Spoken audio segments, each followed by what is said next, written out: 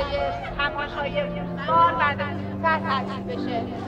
مسئولین این رو رد کردن طبق معمول شما میریم پرچم به این بزرگی رو می‌خوای واسه کجا؟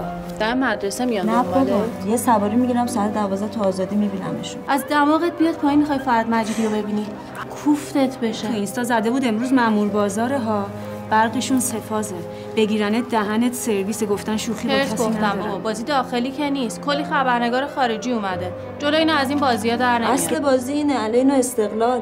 کلی برنامه ریختم براش. تو رو خدا ببین سر فوتبال دیدن خانم چه دهنی داره از همون سرویس خودشون. جرأت ندارن برن پاچه تو رو می‌گیرن. تو که داری چرا باش نمیری؟ نزدیک استادیوم یه پارک کوچیک از میرم همونجا کارامو انجام میدم. یه سری دیگه از دخترام میان همونجا